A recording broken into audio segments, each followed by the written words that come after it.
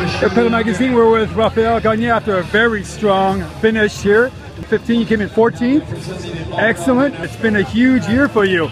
Your form is amazing right now. What were your expectations today? Um, coming off after uh, a, good North American World Cups, uh, here in the top 20, I would have been happy. And today I finished uh, 14th. I've been strong the whole race, and uh, I've been picking up spot through the race today, so I'm I'm happy with 14th, and uh, I think I think that's a, a good benchmark for uh, for Worlds in uh, two weeks from now. Absolutely. On this course, the Black Snake, for you, uh, is this one of your favorite courses?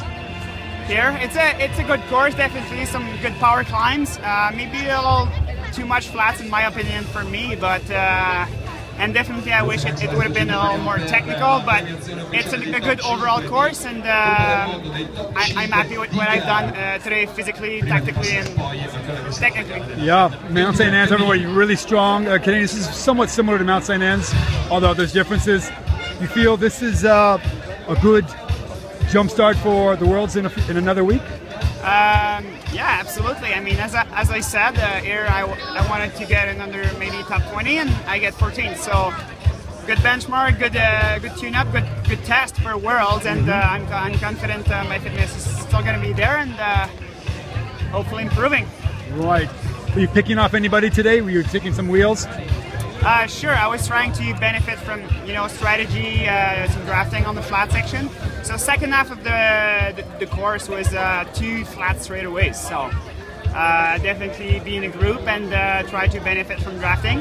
And the first half of the race uh, of the lap is where you, you make your move physically up the climbs and technically down the hill.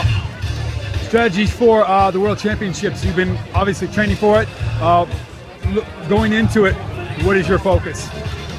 My focus is just like keep doing simple things, uh, things that have been uh, successful this year for me. So basically, keep my head cold. Um, I think people uh, are, are more, more excited than I am for World. I mean, I'm excited for it, but there's there's nothing different for me happening until uh, from now until Worlds. I mean, uh, I keep doing my my, my best trainings and uh, train hard, recover, and um, the head cold for Worlds. Last question, anything uh, changed between this year and last year with your training, nutrition, etc.? For my training? Yes. Uh, not much actually, that's that's a big question people are asking. Um, the little thing is uh, health has really been on my side uh, this year and I think uh, it's because I've been putting maybe less pressure and less emphasis on the first half of the season. Uh, either um, physically for the trainings, but uh, also for the racing, like March, April, May. Uh, I did put less focus on this to be uh, less less um, intensity-wise prepared, but uh, it's definitely paying off in the second half of the season, where I'm able to perform and train hard. Absolutely. Well, great race today. Congratulations. We'll see you next week. Thank you very much.